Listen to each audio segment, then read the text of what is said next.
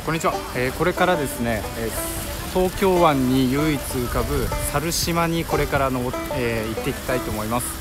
え猿島の名前の由来とか、まあ、その案内っていうのはついてから、えご紹介させていただきたいと思うので、えこれからね、まあ、結構人が並んでるんですけど、まあ、チケットも購入しましたんでこちらですね。で、まあ、もう間もなく11時半から出港ということなんでこれから行っていきたいと思います。やっと動き始めましたね。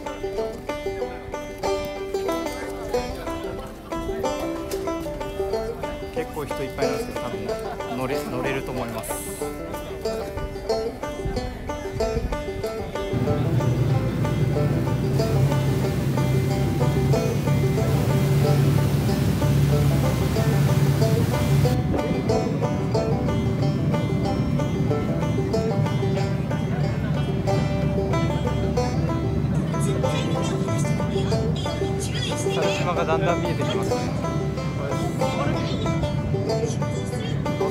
ってる時間はだいたい10分ぐらいなんでそんな時間はかからないです。ね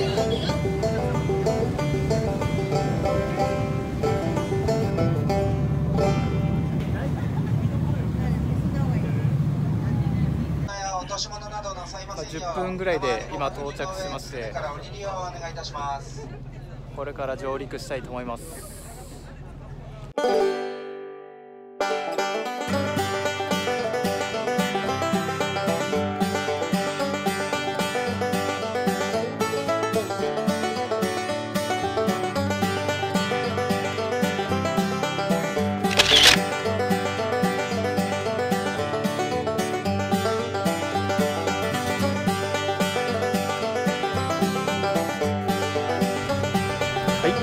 上陸しましてこれから、えー、猿島ですね探索したいと思います。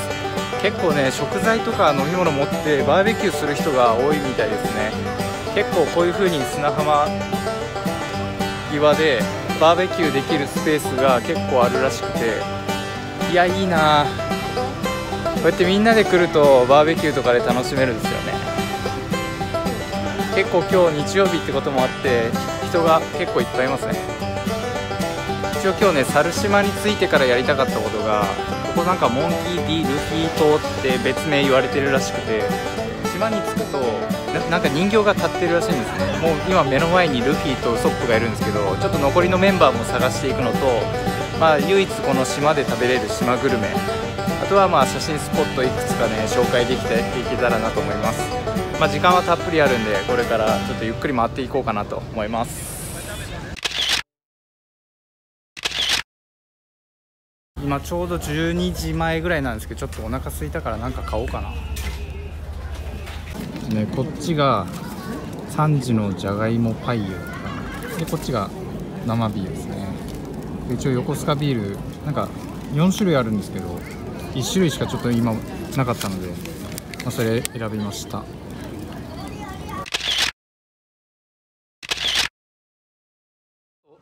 腹ごなしできたんでこれから探検さん、えー、再開ですね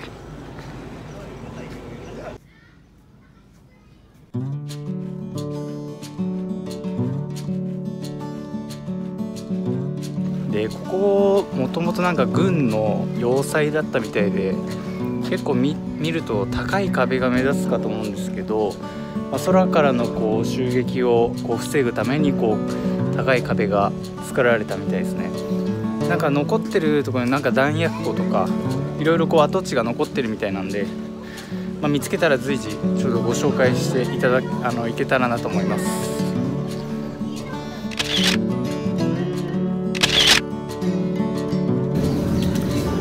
ここがさっき言った弾薬庫ですね。めっちゃ声しますなんか作りはなんかレンガでおしゃれなんですけどここはもともと弾薬庫で使われてたらしいです。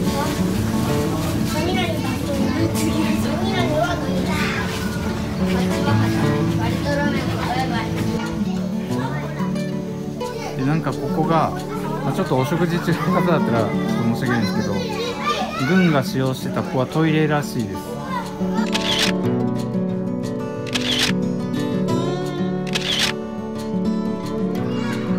い、え、なんかトンネルが見えてきましたは愛のトンネルと言われてるみたいで、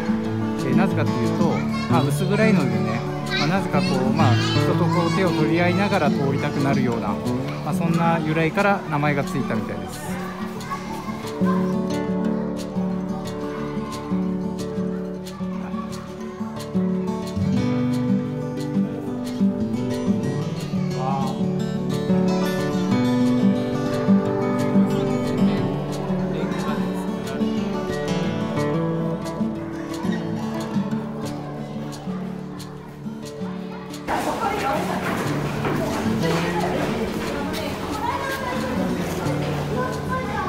広大地下施設結構なんかその砲台跡地みたいなのも結構多く残ってるらしくてまあもともとそこに砲台があって、まあ、周りからのこう鉄柱をこう応戦してたっていうのが、まあ、跡地として今も残ってるらしいのでそれもちょっと見ていきたいですね。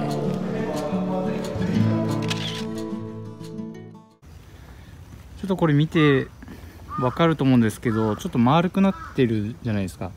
これ360度こう砲台を回せるように360、えーと、丸く作られてるらしいです、まあ、ちょっと行けたところがあるんですけど多分こう崩れてしまったりとかで行けなくなってしまってます、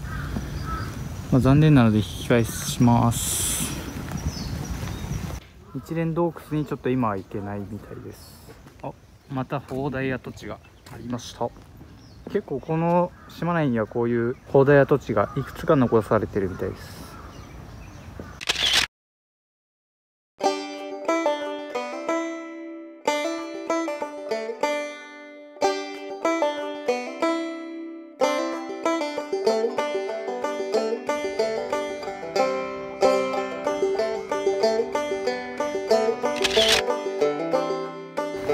ここから岩場に出れるみたいです。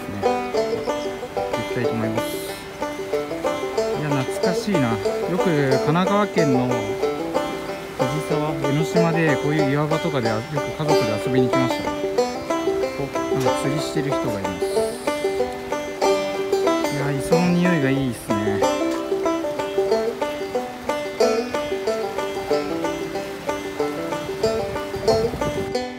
波の音を聞くって普段じゃありえないですからね。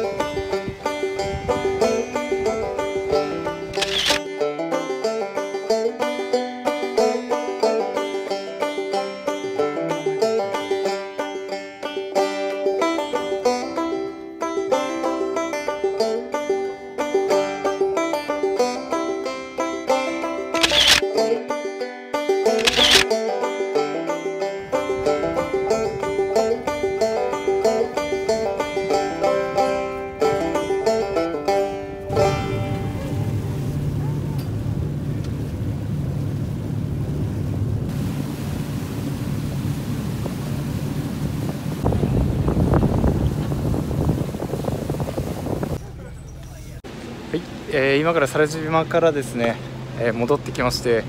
でミッションのミッションというか自分で決めたやつなんですけどフランキーだけが見つからずにちょっとね調べたんですけど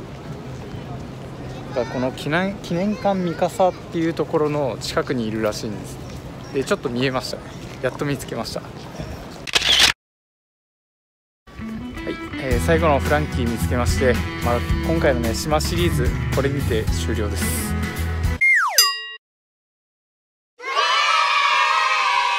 えー、今回猿島ですね、まあ、あの島シリーズ第1弾ということで、まあ、見てくださった方